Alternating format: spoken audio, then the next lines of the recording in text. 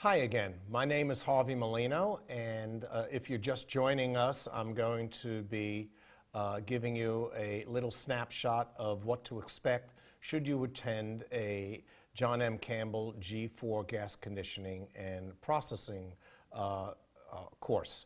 Today, the subject is going to be compression. Should you attend a G4 course at any of the venues that we offer uh, worldwide, uh, you will learn in this uh, chapter how to describe the principles of positive displacement and centrifugal uh, compressors. Uh, you'll be able to calculate power requirements. You'll be able to explain how to use centrifugal compressor performance curves. You will recognize how compressors react to changes in process conditions, which I suggest is very important in a facilities since conditions, conditions change very frequently. Uh, you'll be able to compare drivers and describe how a gas turbine works. And you'll recognize uh, different methods on how to control uh, centrifugal compressors. Uh, if there is interest, we also spend time on positive displacement uh, compression depending on the interest of the class. Uh, as an overview, the way um, I like to introduce compression is to give a review of the, of the basic principles of, uh, that we've learned to this point. The uh, first principle is the ability to uh, calculate power. And power comes from one of the earlier chapters in, uh, um, in heat and material balances, uh, where the power, the actual power, is equal to your mass rate times your isentropic uh, change in enthalpy divided by your efficiency. Your actual flow rate is equal to your mass rate divided by your gas density. Uh, equation 3 tells you how to calculate your gas density. All of these, 1, 2, and 3, have been um, uh, reviewed in earlier chapters. Uh, the gas density is equal to your molecular weight of your gas times its pressure divided by the compressibility factor Z divided by the universal gas constant R and the um, absolute temperature. The uh, fourth item is the determination of your isentropic head. And this is uh, a big equation which I'll describe in a moment. And the fifth item is the compressor curve. If you have these five items available, you'll have a pretty good understanding of how to evaluate a compressor, be it a centrifugal or a positive displacement machine. Let's look at the head equation, equation 4 on the screen.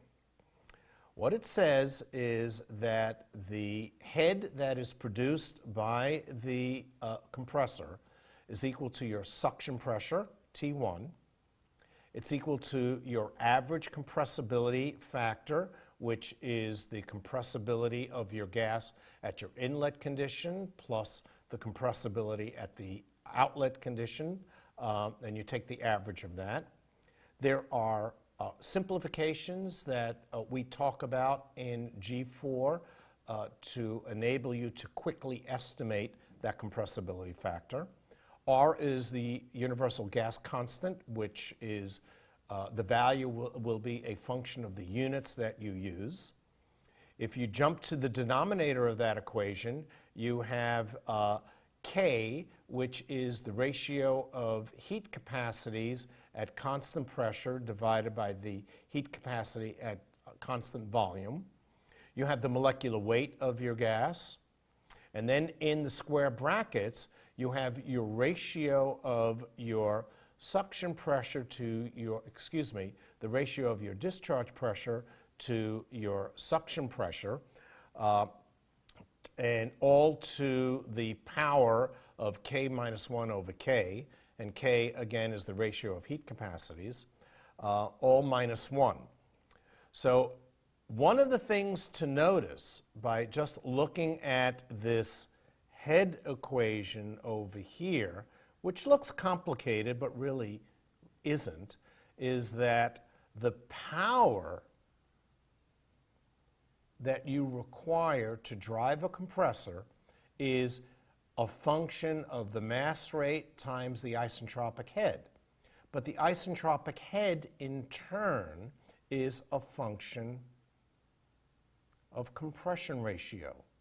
What that means is that for the same mass of gas, if you're going to compress it from, let's say, one bar to four bar, you'll require more power than compressing that same mass of gas from 100 bar to 200 bar because power is a function of compression ratio. We talk about the uh, differences between a uh, positive displacement machine and a centrifugal machine. A centrifugal machine is going to be, in essence, a constant head machine. It wants the head to remain constant and the performance, the discharge pressure, will more often than not float depending on the uh, conditions, the molecular weight and the suction temperature of the, uh, of the system.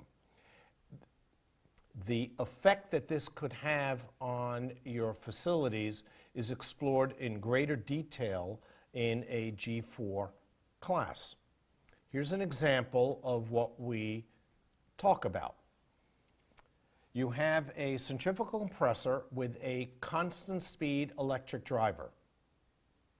Your gas composition changes. It gets heavier. But in this particular example, your suction temperature and pressure does not change. Your compressed gas goes into a constant pressure system. Based on the information we've just discussed, you should be able to determine what happens to the flow and what happens to the power when these changes take place. This is one of the things we talk about in a G4 class. The next time we meet, we will talk about refrigeration. Until then, thank you.